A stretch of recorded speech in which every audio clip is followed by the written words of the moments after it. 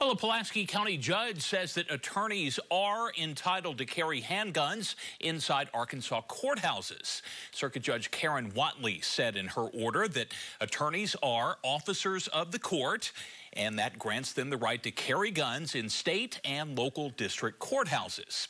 Now, this was the case that Judge Whatley took over from Judge Chip Welch after he was removed by the Arkansas Supreme Court.